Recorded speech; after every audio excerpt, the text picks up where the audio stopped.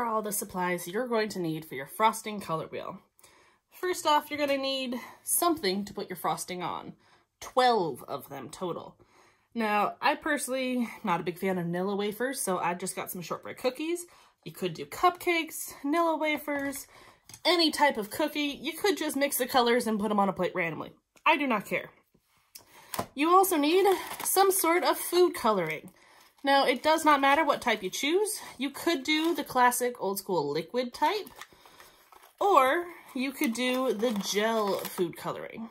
Does not matter as long as you have yellow, blue, and red. Those are the three colors you have to have.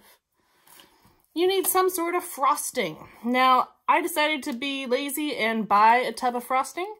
Uh, if you want it to be fancy, you are welcome to make your own. Does not matter what type, as long as it is a white frosting. Sorry, can't do chocolate because we need to be able to see the colors well, so we need it to be white. Okay, you're also going to need at least three containers. These are going to be where I make my three base primary colors. You're probably going to want something else to mix your frosting on. Could be a bowl. I'm just going to do them in little piles on the small plate. You're also going to want a spoon for scooping out your frosting, and then you could use a spoon or a knife or something for mixing of your colors.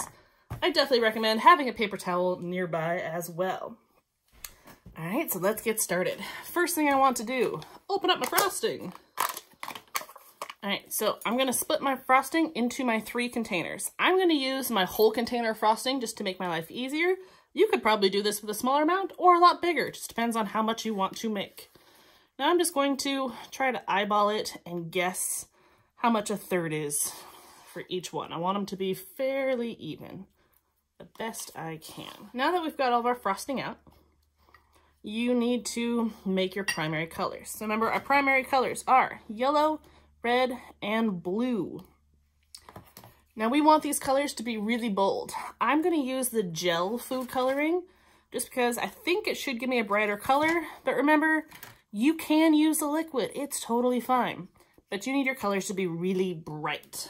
So I'm going to put in a lot of my color into it because I want my colors to be bold. Now the gel food coloring is not as strong as liquid. If I was going liquid, I'd do a few drops mix, few drops mix, and go from there. So I'm going to mix up my three colors nice and bold. Voila! By the power of movie magic, I have my three colors done. I would really recommend get three different spoons or something to mix your containers with because you want to make sure the colors don't get contaminated with each other. Like I see a little bit of blue got into this yellow and I'm going to scoop it out. Okay, so these three primary colors can make all 12 of the colors we are trying to make. Now I'm going to show you some tricks on doing this. First off, we need to know which colors are strongest and which are weakest. Yellow is a really weak color. So what that means is it can very easily get overpowered by other colors. Red and blue are much stronger. Blue is the strongest. That means it takes over really quickly. So when we're mixing colors, we have to keep that in mind. Since yellow is so weak, we always want to start with our yellow and then add in our other color. So that way it doesn't get overpowered as fast and we can control it. That's going to help make sure we don't run out of our yellow too fast. Okay, the first color I want to put down is obviously just my primary colors. Let's make our lives easier. Make sure you mark down your primary colors by putting it onto one of your objects, whatever it is, your cookie, your cupcake, your Nilla wafer, whatever it happens to be. Make sure you put down some of your primary color before you move on we're going to start with our oranges. So, if we look at that mixing guide that I gave you, oranges are yellows and reds. Now I'm going to show you a trick. I'm going to show you a way that we can make all of our colors from one spot instead of having to make three different messes. So we're going to make yellow orange, orange, then red orange. So I want to take about half of my yellow, maybe a little bit less because I put a lot of frosting in. But I want a really big pile of my yellow because we'll make our yellow orange first and then we're just going to add to it to make our regular orange. Make sure you clean off the thing that you're mixing with. I'm even going to take my paper towel, wipe down my knife. So, if we look at the guide, we know making yellow orange is a lot of yellow with just a tiny bit of red. Now, I really emphasize the tiny bit. Remember, yellow is a lot weaker than red is. So I'm going to take just a little bit of red. See, I mean, look at the sizes of that compared to that. Now I'm going to mix this in to make our yellow orange. Now I'm going to try to mix all of my colors on this one plate, so I'm going to try to keep my pile fairly small. So you can see that red takes over the yellow really fast. That's why we got to do just a little bit at once. If I put in too much red, I can always add more yellow. So I want to mix this all up. Now looking at it, I want to compare it to the slides that has a color wheel. I think I put in too much red. So I need to take a second and put some more yellow on it. So I want to clean off my container or my knife. Scrape it wipe it. I'm going to add a bit more yellow. So you really see how yellow is weak. You need a lot of it compared to the red. Mix that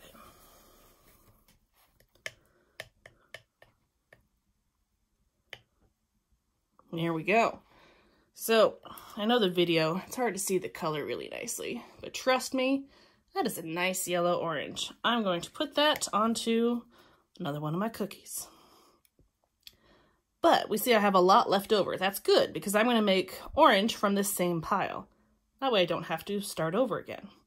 So I put down my yellow orange. Now, to turn this yellow orange into orange, all I gotta do is add a little bit more red to it. It's that simple. So I'm gonna start small, little blob of red, and mix that in. I think I need a little bit more red still. Wipe off my container. I don't want to contaminate my red. Let's grab a little bit more. A little bit more, mix it in. So we want the orange to look like a pumpkin. Nice, bright, bold pumpkin. There we go, nice. I like the orange, so I can put it on a cookie.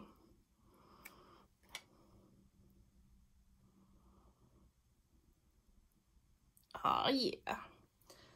Now I definitely want to check and look. Do my two oranges look different? Good. They always want to make sure each one looks different as you go. Now for the last of our orange, our red orange, it's the same thing again. I'm just to add in a little bit more red. Whew, I'm making a mess here. This is definitely a messy project. Now, since red orange has a lot of red in it, I'm to take a pretty big dollop of red to mix into this.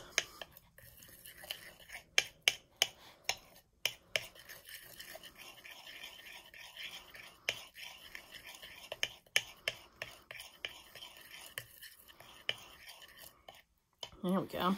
Now the red orange should not look like red, but it should also not look like the orange. It should look like its own color. Once you like it, put that on your thing. Cookie, whatever.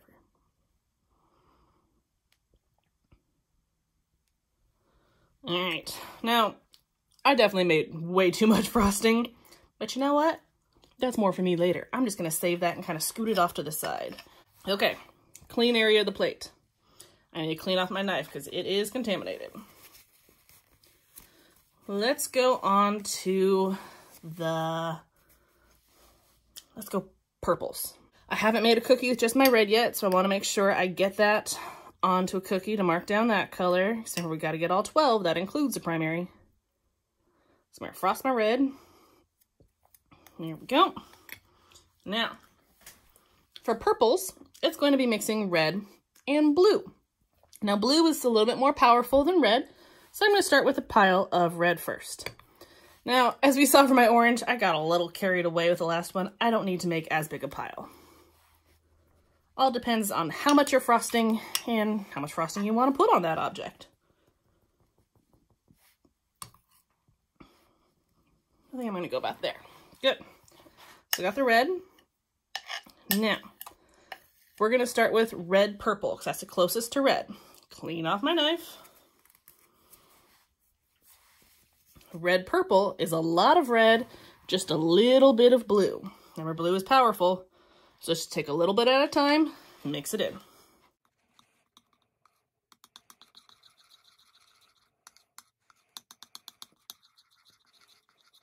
Nice, that worked out perfect.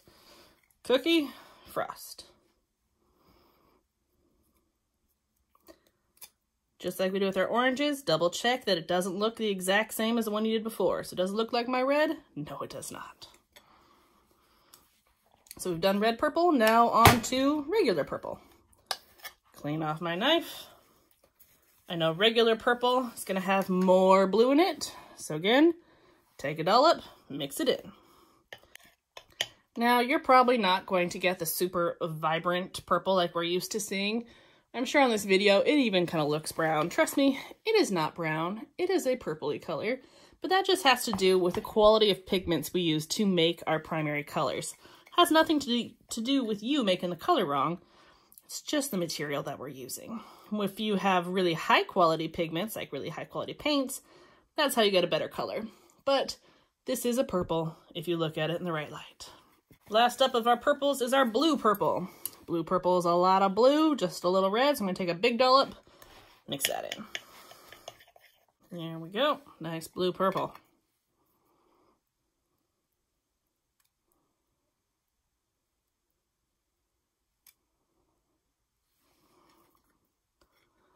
All right, we got four cookies left. As you can see, none of them look the same. They all look different. That's exactly what we want it to do. So we got blue and then the greens left. So, as before, clean off my knife. I might lick my frosting on this one.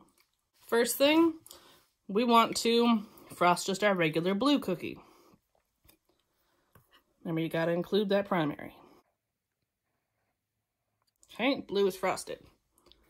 Now, to make our greens, we know that's going to be yellow and blues. Now, we know that yellow is really weak, blue is really strong. So we're going to slowly add the blue into the yellow. Since this is my last set of colors, I'm just going to mix it straight into the yellow not even use my plate. Let's make life easier. Okay, so tiny bit of blue. I really can't emphasize this enough, guys it's tiny. Like, this tiny blob of blue compared to all of this yellow. Trust me, blue overpowers fast. So let's mix this in. We want this to be our yellow-green, so it should look like lime green. Oh, yeah. Perfect. Let's frost a cookie.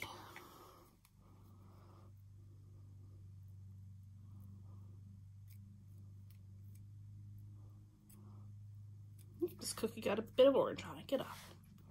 There we go. So we got our yellow green. Notice it is different than the regular yellow. Perfect. Now to go into green, we want to add a little bit more blue. Again, a little bit at a time, guys. Blue is so much stronger than the yellow. So I'm going to start with a blob about this big.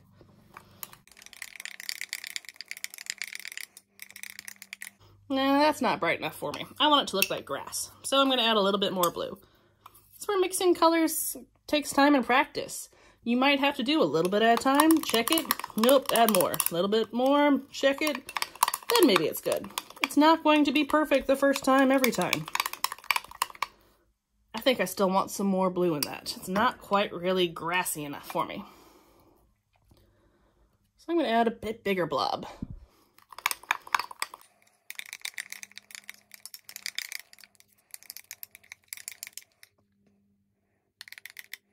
Alright, say that finally got it. More grass. Put that on a cookie.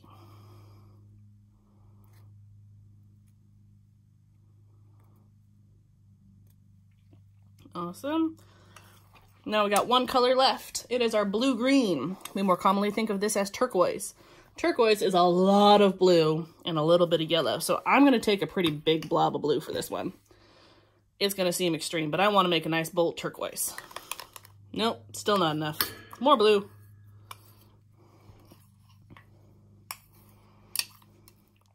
Nope, still not enough. More blue.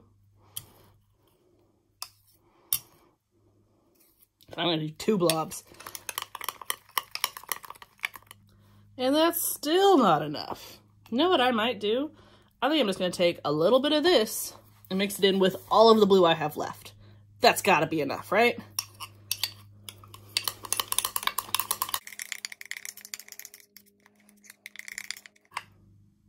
Mm, I think I want to add a little bit more of my green into it.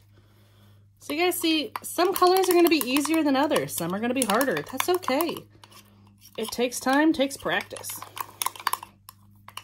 There we go. Now we got a turquoise. Put that on my last cookie.